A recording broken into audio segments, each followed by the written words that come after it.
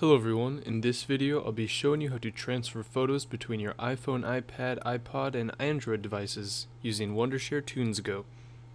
The first step of course is to go ahead and launch Wondershare TunesGo. After that we're going to connect our various devices.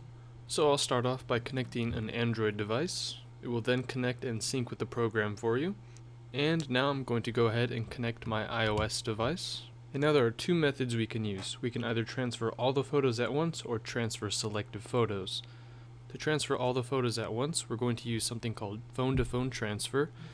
To do this first, we need to go ahead and make sure we have the device we want to transfer from selected.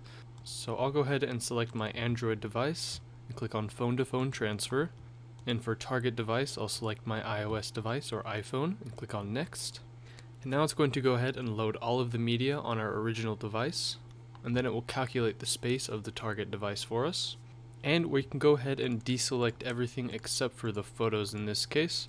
You can see it tells us we have 481 files selected that add up to about 200 megabytes, and we've got plenty of free space on our target device. And this information just helps it so you don't overload your device with too much data. There's also a button that says delete contents on target device then transfer, and this will just help you save up space, but do realize this feature is only available on Windows.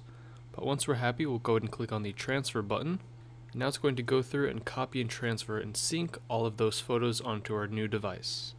And once complete, it's going to tell you transfer complete, and you can click on OK to close it. Now the second method is to transfer photos selectively.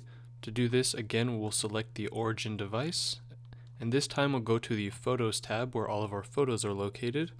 And inside of here, what we can do is select the files we want to transfer, Click on export and we'll export to a device and we'll select the device, in this case my iPhone.